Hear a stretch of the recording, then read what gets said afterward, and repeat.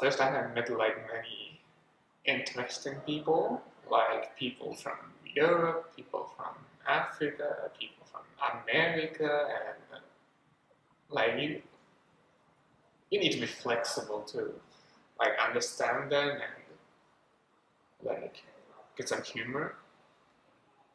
So yeah, I think that's that will be like very important when you go out to this world. There are many outside it.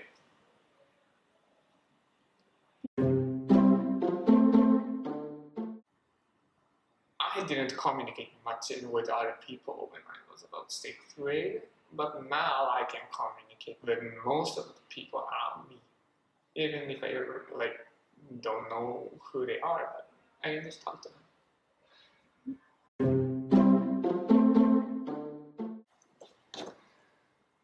So students that are, that are looking at this video, you must find something that you want to do or what you like to do or it's, it's going to be too late.